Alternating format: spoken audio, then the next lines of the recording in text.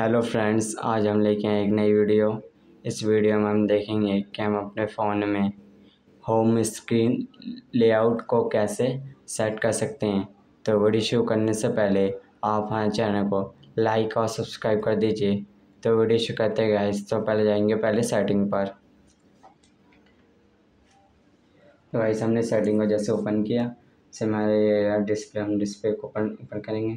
से हम यहाँ नीचे आएँगे होम स्क्रीन हम इसको ओपन करेंगे। से हमारे होम स्क्रीन लेआउट इसको करेंगे ओपन से हमारे ये रहा होम एंड एप्स स्क्रीन इसको हम कर देंगे ऐप तो हमारे हो चुका है और हमारी वीडियो यही होती है समाप्त। मिलते नेक्स्ट वीडियो में और हमारे चैनल को लाइक और सब्सक्राइब कर दीजिए। Thank you